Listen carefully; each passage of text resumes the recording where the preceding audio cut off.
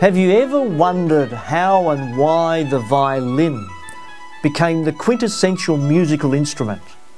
Well, I've got something that may just interest you. This particular violin was hand carved from Tasmanian timbers and based on a long perfected design. The belly of this particular violin was carved from a King Billy pine log retrieved from a river deep in Tasmania's southwest. The neck was carved from an old myrtle railway sleeper, and the purfling and pegs from a seasoned blackwood fence post. As for the back and sides, well, they were carved from an old maple mantelpiece, I believe, that once had adorned a fireplace for many years. The violin is without a doubt a beautiful instrument, and in the hands of a maestro, the music is simply sublime.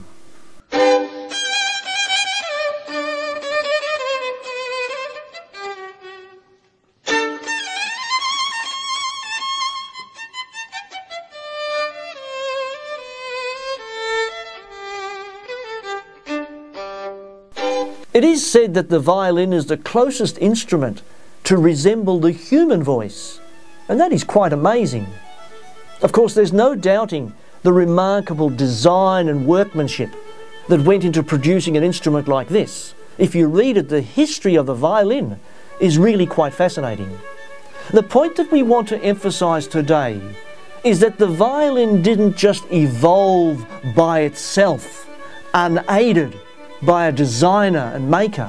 It didn't just happen accidentally. No, it took careful and intentional work with a specific purpose in mind.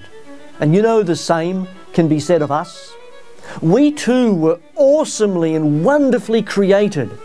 We didn't just evolve. You see, the factors that enable us to exist are too great and too complex to have happened randomly by themselves. For example, did you know that the single cell is more complex than the total sum of human achievement? That is an astounding comparison. You know, there's more to us than meets the eye. I encourage you, don't believe the false hypothesis that concludes that we accidentally evolved in ascendant development over billions of years. The truth is that the first humans were created by God in His own image and likeness.